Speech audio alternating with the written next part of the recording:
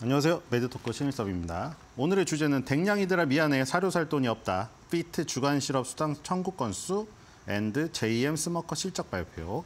자 요즘에 댕냥이들 키우시는 분들 아주 많죠. 그 결혼을 안 한 친구들이 아이를 학교에 보낸다길래 왜 학, 학교를 너네 무슨 아이가 있니? 했더니 개 학교를 보내더라고요. 개 유치원이 그렇게 많더라고요. 아침에 조승우 씨도 아침에 개를 결혼 안 하셨잖아요. 개를 유치원에 데려다 주는 게 일상이라고. 자, 그럴 정도로 사랑을 해요. 거의 아이 같죠. 못, 모르는 사람이 들으면 정말 아이를 케어하는 것 같은 느낌이에요. 뭐 댕냥이라고 해서 이제 양이도 있지만 양이는 밖에 나가기가 왜 산책을 양이들은 왜 자주 안 하냐면은 양이들은 밖에 나가면 다 자기 구역인 줄 알아서 다시 길냥이가 될 확률이 높아서 그래서 맨날 집에 있는 거예요. 어쨌든 댕냥이들에게 사료 사줄 돈이 없다는 것은 어 뭔가 굉장히 심경의 변화라든가 경제적 변화가 없으면은 버리지 않을 건데 그 중요하다는 생각이 들고요. 그래서 그 관련된 JM 스모커 실적 발표는 뒤에 나옵니다. 그리고 하루 쉬었기 때문에 많이 밀려 있죠. 자, 우리나라 시간입니다. 6월 5일 9시 15분에 저녁에 발표됐죠. ADP에서 발표되는 넌팜이니까 팜이 아니다. 비농업, 신규 취업 건수 이게 나오는데 그 다음에 예, 일단 일정을 보고 세부 지표를 보도록 하죠. 이제 또 우리가 또 쉬는 날에도 아 이쪽으로 갔군요. 아 옆으로 갔군요. 어 이거는 이게 6월 6일이죠. 6월 6일 날 예, 이쪽 있네요. 예, 옆으로 붙여주셨네요. 예, 너무 길어서. 여기, 여기 같은 날이죠. 이제 11시에, 밤 11시에. 이러니까 잠을 못 자는 거예요. 미국 투자하시는 분들이. 밤에 중요한 지표가 이렇게 나오는데 잠을, 밤을 새시고 이제 6시에 주무십니다.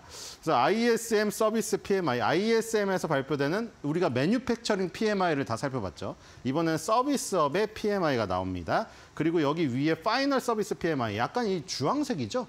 그러니까 지금 시장에서는 원래 ISM 걸 더 중요시한다는 걸 여기서 알 수가 있어요. 이거는 S&P에서 발표되는 서비스 PMI 두 개가 나온다. 그리고 이제 6월 6일 현충일 날, 현충일 날 또 이제 뭐 놀러 가시지도 못하고 또 놀러 가셔도 이걸 보시는 분들 많을 거예요. 자, 6월 6일, 6월 5일이죠. 6월 6일로 가면은 자 USD를 찾아보세요. 뭐 다 나라별로 다 나와요. 1번부터 다 나오는데 이 보통 유럽, 미국이 빨간색이죠. 그렇죠? 이, 이 미국에서 unemployment claims. 자, 이 그 실업수당 청구 건수 요게 나오고요. 그 다음에 좀 하나 붙은 게 더 있을 겁니다. 옆으로 가면은 예, 뒤에 있죠. 뒤로 가시면은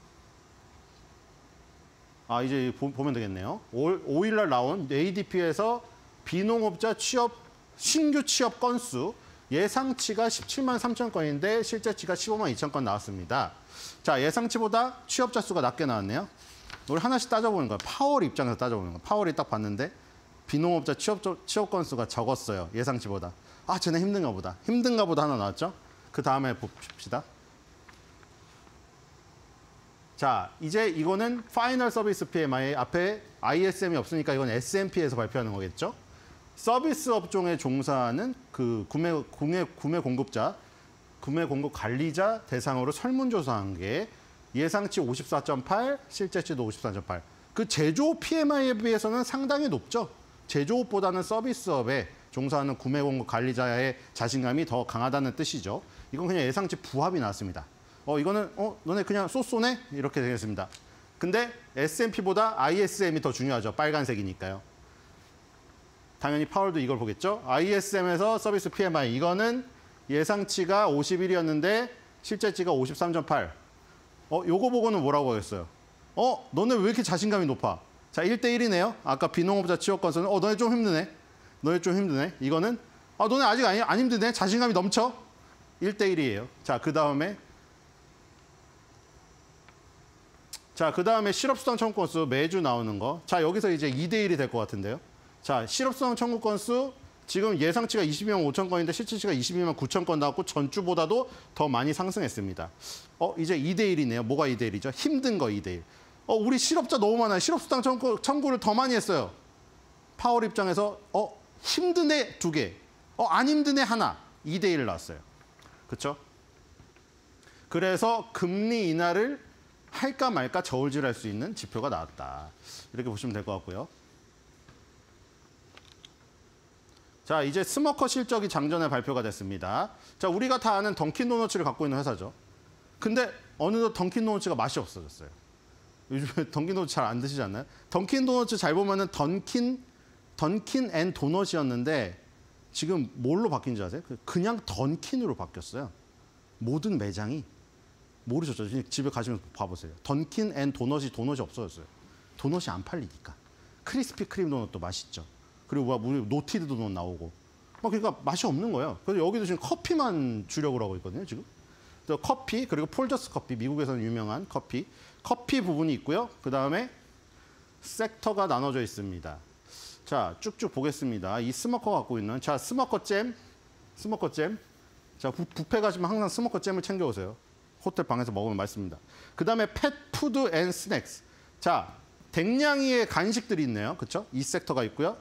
그 다음 sector가 네, 이 sweet baked snacks 요런 sector가 있고요. 그 다음에 네, 요런 그 집 집 밖으로 집에서 떠나서 갖고 가는 휴대용 아니면은 국제적인 식품들 이렇게 sector가 나눠져 있습니다. 자, 이 sector별로 실적이 나와요. 스모커의 실적을 보겠습니다. 자, 2023년도 4분기 실적입니다. 예, 매출액은 전년 동기 대비 1% 줄어서 2.121 billion 달러가 나왔고요.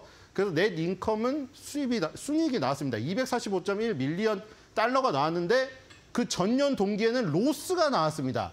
무려 600.7 million loss가 나왔기 때문에 완전 순이익이 흑자로 전환했다. 그러니까 주당 순이익으로 하면 2.30이 나오고 당연히 전년 전년에는 마이너스 5.69 손실이 났어요. 그러니까 전년 동기 대비해서 2023년 4분기 대비해서 실적이 좋아졌어요. 그리고 일회성 비용을 제외한 조정 순이익으로 따지면 2.66. 그게 전년 동기 대비해서 19% 증가한 수치고요. 아까 그림에서 봤던 섹터가 그대로 있습니다. 그렇죠? 똑같죠? 커피, 그다음에 프로즌 핸드헬드 냉동식품이고요. 여기에 스- spread 잼 있고 retail pet food 있죠. sweet baked snack 있고 international and away from home 똑같아요. 홈페이지에는 다섯 개로 구성되어 있는데 가장 여기서 2024년 4분기에 비해서 2024년, 4, 2024년 4분기가 좋게 바뀌긴 했는데 가장 악화된 게 어디입니까? 왜 제목을 이렇게 했겠어요? pet food가 무려 마이너스 42%가 나왔습니다. pet food가 차지하고 있는 게 초록색이니까 20.5를 차지하고 있어서 이 전체에서 요 지금 커피 부분, 커피 부분 제외하고 2등이에요. 펫푸드가. 근데 거기서 마이너스 42%가 깎여버린 거죠. 다른 것들은 변동폭이 작았습니다. 자, 그리고 2023년도 4분기, 2023년도 4분기 걸 보죠. 네, 2024년도 3분기 전분기 걸 보겠습니다. 전분기입니다. 이건 전년 동기가 아니라. 그때 살짝 말씀드렸는데 전년 동기가 더 중요하다고 했죠. 전분기는 그렇게 따지면 계절성을 파악을 못해요. 그렇기 때문에 여기서도 보시면 전, 전분기에도 retail pet food가 40% 가까이 빠졌습니다. 이게 이게 이건 또 전년 동기 대비니까 이건 또 2023년도 3분기 대비겠죠. 그러니까 어쨌든 2024년도 3분기 4분기가 전년 2023년 3분기 4분기보다 전부 다 이 pet food 쪽에 확 빠져버린 거예요. 그러니까 지금 이것만 보면은 그렇게 설명이 되겠죠. 댕냥이들 사줄 간식 돈이 없는 거예요, 지금. 간식 돈이. 자기네 건 조금 줄였죠. 던킨 도너츠 커피, 폴저스 커피 먹는 거, 어, 그 다음에 스프레드 잼, 스모커 잼 발라 먹는 거는 조금 줄였는데 개 고양이를 소홀히 한 거예요. 소홀히 했다기보다 어쩔 수 없는 상황이, 상황인. 만약에 스모커의 전체 점유율이 그대로라면. 근데 스모커는 점유율이 압도적이기 때문에 이 분야에서 그 점유율이 갑작스럽게 확 줄어들 무슨 black swan급 무슨 일이 벌어지진 않았거든요. 자, 그래서 실적이 이렇게 나왔습니다. 자, 다음으로 가겠습니다. 자, 그래서 스모커는 지금 어, 요 지금 115.41 정도 하고 있는데 목표 주가 average가 131이니까 여기서 13.51% 정도 올라야 average에 도달한다. 목표 주가가 140달러도 있긴 합니다. 그래서 당연히 의견은 보나 마겠나 만하겠죠. moderate buy 정도 나와 있고요. 3 buy 대 4 hold 요 정도로 역시 강력하게 보고 있지는 않다 시장도 이렇게 보시면 될 것 같고요. 기술적인 모습을 확인하겠습니다. 자, 스모커가 실적을 발표했는데 아주 무슨 강력한 earning surprise는 아니었죠. 강력한 earning surprise는 아니었는데 어쨌든 간에 실적을 컨센서스 뛰어넘었어요. 그래서 여기 보시면 갭 상승을 해서 이동평균선 두 개가 계속 내려오고 있었는데 보시면은 계속 막히죠. 여기 막히고 막히고 막히고 막히고 막히고 그거를 뚫어내 버렸어요. 여기서 보이죠? 점프했어요. 점프하고 그 위에 있는 이동평균선의 저항을 받으려고 하는 모습을 보면서 밀렸어요. 근데 어쨌든 이 갭 상승의 모습이 나왔다. 굉장히 오랜만에. 그렇죠? 2024년도 초반부터 쭉 내려오던 저항선을 뚫어냈죠. 어쨌든 실적에 효과가 있었습니다. 주봉을 보겠습니다. 이 일봉의 모습이 주봉에 어느 정도 영향을 미쳤을까요? 주봉에 큰 영향은 못 미쳤어요. 하락세였기 때문에. 근데 중요한 거는 여기서 크게 쌍바닥을 만들었다는 거죠. 그래서 아까 전에 뭐 125달러 요 정도 수준까지는 올라갈 수 있는 흐름을 일단 발판을 마련했고요. 월봉을 보겠습니다. 네, 월봉도 지금 위아래 그냥 굴곡이 심하죠. 이 지금 코로나 때 많이 올랐습니다. 코로나 때 댕냥이들을 많이 길렀거든요. 그리고 다시 코로나 엔데믹이 되니까 주저앉았다가 지금 여기서 쌍바닥을 만들고 다시 올라가려는 흐름을 만들고 있습니다. 130달러를 가려면 여기서 한 15달러 더 올라야 되죠, 주당. 네, 이렇게 보시면 될 것 같습니다. 스머커의 실적 발표까지 스머커의 실적 발표와 기술적 분석까지 봤고요. 네. 더 자료 없죠?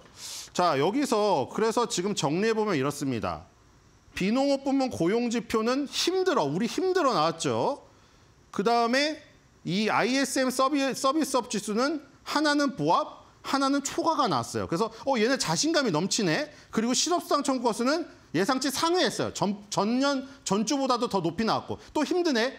그럼 이제 파월 입장에서 어 얘네 너무 힘든데 좀 해줘 볼까? 그리고 기업의 실적은 기업의 실적은 어쨌든 earning surprise가 났거든요. 지금 스머커가 별로 못 나온 거지 다른 것도 지금 쭉 봤지만 실적이 굉장히 좋아요.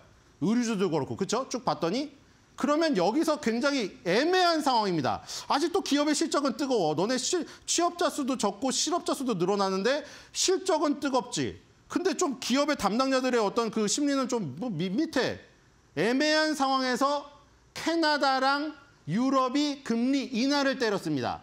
자, 파월은 여기서 어떤 선택을 하게 될까요? 바로 다음 주에 결정납니다. 그래서 선수를 친 리가르드, 파월 이제 어떻게 할 텐가? 지켜봅시다.